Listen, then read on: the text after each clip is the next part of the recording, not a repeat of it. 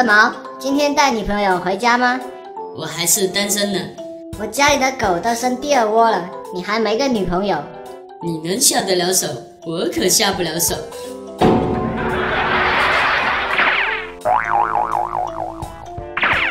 哈哥，我想和我女朋友求婚。那好啊，赶快行动。求婚时我是不是要下跪呢？不用，以后你有很多贵的机会。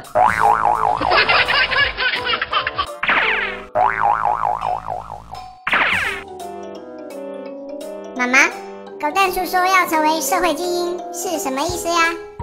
社会精英就是把社会上的人聚在一块儿，压缩、提炼、过滤，然后再压缩、再提炼、再过滤，剩下的就是精英了。你说的明明就是人渣嘛！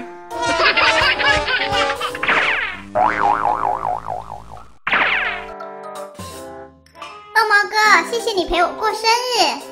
那是必须的。刚才看你关上灯、吹蜡烛的样子，特别美，让我想起了一部很喜欢的电影。你真浪漫，是什么电影啊？鬼吹灯。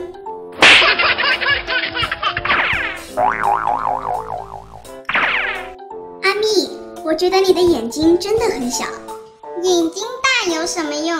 胸大就行啦。你老公在床上难道都摸你的眼珠子？抽不瞎你！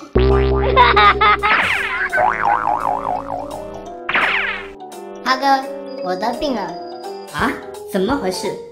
我好像得了间歇性失忆症。具体什么症状？我一看到漂亮妹子就会忘记已经结婚了。滚！我自己这个病还没治好呢。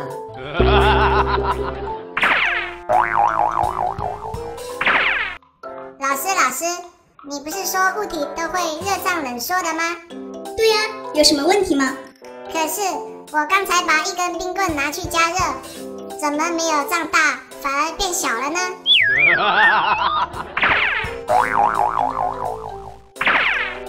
美丽，你这清炒的油麦菜到底是荤菜还是素菜？当然是素菜喽。嗯，那这条虫是怎么回事？呃，它当然也是来吃饭的。